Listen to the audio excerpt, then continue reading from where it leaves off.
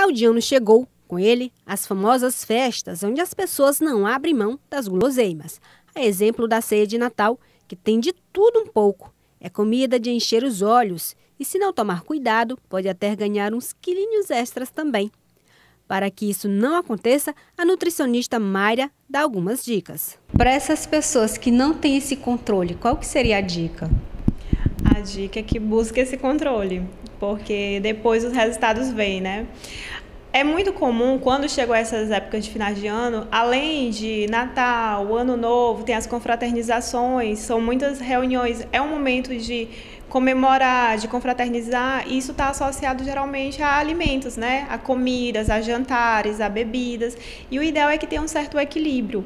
Além da comida e bebida fartas, a ceia de Natal também vem acompanhada de deliciosos doces, que na maioria das vezes são carregados de muitas calorias.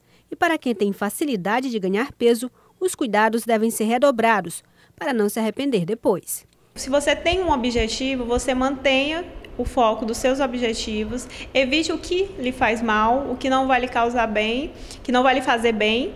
E o ideal é que procure opções mais saudáveis, alguma opção que tenha menos açúcar, alguma, alguma coisa do tipo, porque geralmente é a gente tem uma, várias opções, não é? Então o ideal é evitar ou comer com moderação. Se ainda assim exagerar, não se desespere. A nutricionista dá algumas recomendações. Correr atrás do prejuízo. No caso, no dia seguinte, é retomar a rotina, é comer normalmente, se possível, dar uma equilibrada mais ainda, procurar fazer, praticar atividade física e não por ter furado a dieta que ter aquele relaxamento, né?